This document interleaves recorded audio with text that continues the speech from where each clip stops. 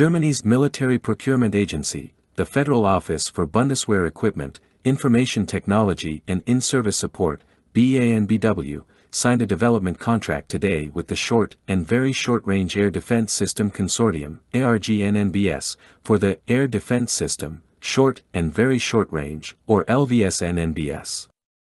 Set up in 2021, ARGE NNbS has three member companies, Rheinmetall Electronics GmbH of Bremen, Diehl Defense GmbH and Company.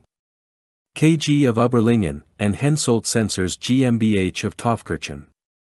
The contract is worth around 1.2 billion euros, including VAT, with Rheinmetall accounting for 607 million euros, Diehl for 339 million euros, and Hensoldt for 284 million euros, reflecting their respective work shares.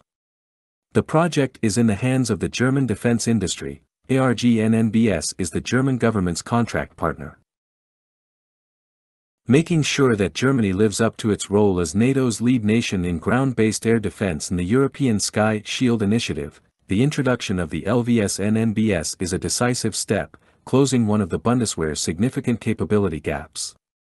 The core objective of the LVS-NNBS development project is to optimize medium-range air defense as well as develop high-mobility air defense capabilities for protecting maneuver forces from aerial threats, even when on the move.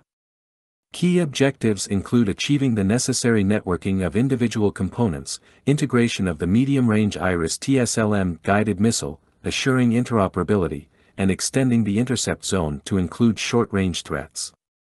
Networking will enable connection to the IRIS-T SLM fire units currently under procurement as well as to the Skyranger 30 ground-based mobile air defense system, to be procured in future. By bundling complementary core capabilities, including those of other German defense contractors, ARGE NNbS brings together the foundational knowledge, capabilities and expertise needed to meet the requirements. In the process, key technologies will stay in Germany, where they will be preserved and perfected. Rheinmetall and its Electronic Solutions and Vehicle Solutions divisions bring technological know-how and long-standing experience in the development and delivery of defense systems, especially in combat vehicles, communications and systems integration. Diehl Defense specializes in developing and fabricating guided missiles.